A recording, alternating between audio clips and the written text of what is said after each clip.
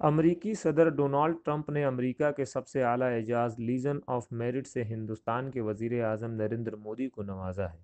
ये एजाज़ नरेंद्र मोदी की एजाज़ों की फहरिस्त में नया शुमार हुआ है। अमरीका में हिंदुस्तान के सफ़ीर तजिंदर सिंह सिंधु ने वज़ीर अजम की बिना पर इस एजाज़ को अमरीका मुल्की तहफ़ मशीर रॉबर्ट ओब्रायन के हाथों वाइट हाउस में कबूल किया। लीजन ऑफ़ मेरिट एजाज़ किसी मुल्क के या रियासत के सदर या मुखिया को ही दिया जाता है। ये एजाज़ जनाब मोदी को आलमी चुनौती का सामना, मजबूती और बसारत के साथ करने और हिंदुस्तान को आलमी सतह पर एक बड़ी ताकत के तौर पर कायम करने और अमेरिका के साथ अहम साझेदारी निभाने के लिए दिया गया है।